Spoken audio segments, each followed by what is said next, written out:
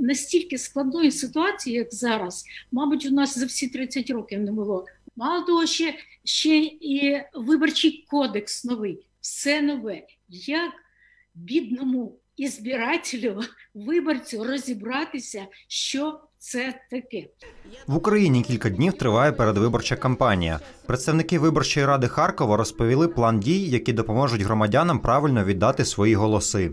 Кампанія тільки почалася, але на виборців тисне реклама та агітація не тільки традиційна з бордів та телебачення, але й прихована. Також задіяні всі е, можливі соціальні мережі, лідери думок, і це дуже ва- заважає е, свідомому вибору громадян. І тому ми хочемо переключити їх увагу е, на саме вибір за зміст та е, кампаній та зміст програм.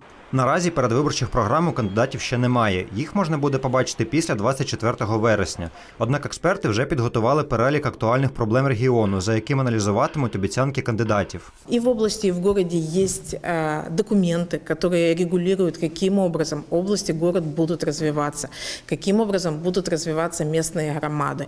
Иногда мы сталкиваемся с тем, что отдельные депутаты даже не читают эти программы, они просто идут во власть, а потом не знают, что с этим делать. Крім цього, експерти радять звертати увагу і на інші фактори при виборі того чи іншого кандидата. Перш ніж проголосувати, мабуть, ми повинні подумати, а чи буде доступна ця людина, коли стане депутатом чи мером міста після виборів? От уявіть собі, ви вибираєте крутого бізнесмена, у нього е, декілька, у нього велика команда охоронців.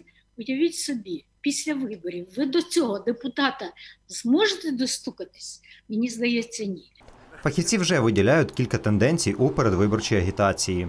Есть э, представители действующей власти, у которых э, действительно главный месседж док- доказать э, именно успешность своего управления, неда- недаром такой слоган они выбрали, и доказать его успеч- успешность во всех сфер, э, сферах. Все остальные представители политических сил, то, что мы сейчас видим, их работа, э, скажем так, э, м, политическая на данный момент сводится именно к критике э, власти. Першу публічну дискусію виборча рада анонсувала на кінець вересня. На питання експертів відповідатимуть кандидати у мери міст. Крім Харкова, аналогічні програми працюють у Дніпрі, Запоріжжі та Одесі. Антон Милановський, Юрій Чорнобук, медіагрупа Об'єктив.